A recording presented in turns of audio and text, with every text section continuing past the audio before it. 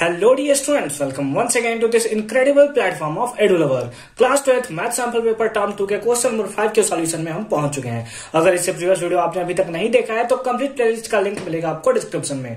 क्या है question number five a bag contain one red and three white balls ठीक है? एक बैग है जिसमें क्या है? एक रेड है और तीन व्हाइट बॉल है, ठीक है? Find the probability distribution probability distribution बताना है हमें किसका? Of the number of red ball का। किसका बताना है? रेड बॉल का। तो हम लोग यहाँ पे लेट कर लेते हैं। लेट क्या कर लेते हैं? X equals to X equals to number of red ball है ना? एक्स इक्वल्स टू हमने लेट किया नंबर ऑफ़ रेड बॉल्स ठीक है?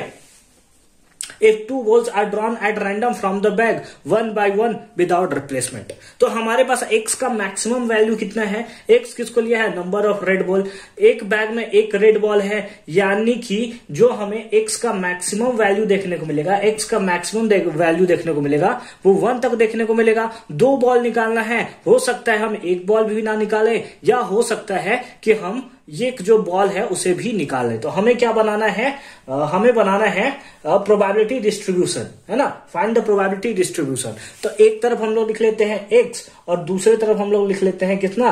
पी एक्स है ना? एक तरफ़ हमने लिख लिया एक्स एक्स किसको शो करेगा? नंबर ऑफ़ नंबर ऑफ़ किसको? रेड बॉल को। और पी एक्स क्या होगा? उसका प्रोबेबिलिटी उसका क्या होगा? प्रोबेबिलिटी ठीक? ठीक है?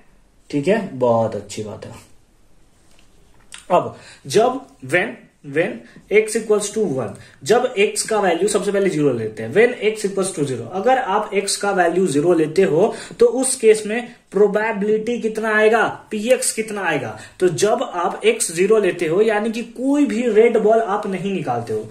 कोई भी आप रेड बॉल नहीं निकालते हो मतलब तीन व्हाइट बॉल में से आपको क्या करना है? दो व्हाइट बॉल निकालना है। टोटल कितना बॉल है? यानी कि four C two four C two. इसी चीज़ को हम लोग दूसरे फॉर्म में समझ सकते हैं। कैसे समझ सकते हैं कि तीन व्हाइट बॉल में से हमें क्या करना है कि if two ball are drawn दो बॉल हमें निकालना है। तो सबसे पहले, क्योंकि हम लोग एक भी रेड बॉल नहीं निकाल रहे हैं तो सबसे पहले क्या करेंगे?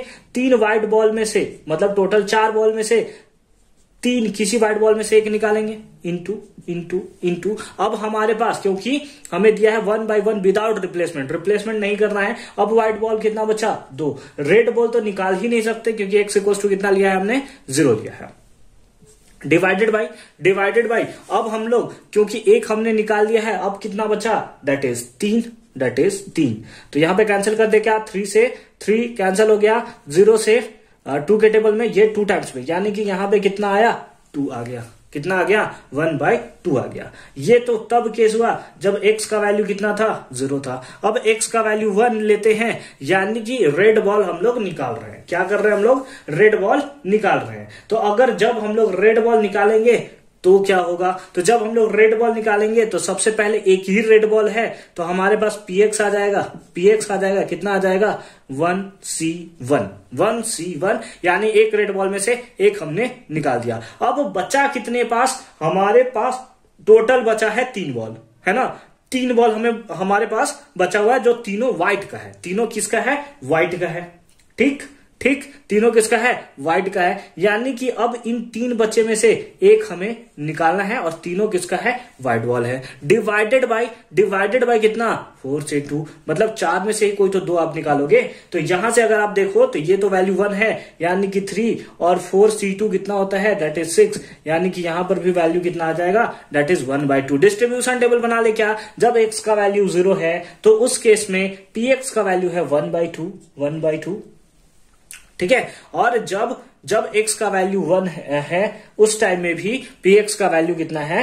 That is one by two and that is the required solution of this question बोलिए समझ में आया या नहीं आया? जैसे मैंने इस पी एक्स को इस फॉर्म में लिखा था, क्या आप उसी तरह से, इसको मैंने इस फॉर्म में लिखा था, क्या उसी तरह से इसको आप आप इस फॉर्म में लिख सकते हैं क्या? इसको आप इस फॉर्म में लिख सकते हैं। और अगर लिख सकते हैं तो कैसे लिख सकते हैं? फटाफट से कमेंट करके हमें बताएँगे। ठीक है? फटाफट से आप हमें कमेंट करके बताएँगे। मिलते हैं आपसे नेक्स्ट वीडियो में क्वेश्चन नंबर सिक्स के साथ। अगर कहीं भी कंफ्यूजन है कमेंट सेक्शन में बताएँगे ताकि हम इसको दूसरे मेथड्स के थ्रू भी अगर पॉसिबल हो पाए तो हम इसको सॉल्व करने का पूरा पूरा ट्राई करेंगे। मिलते हैं आपसे नेक्स्ट वीडियो में। अच्छे से पढ़ाई करते रहिए।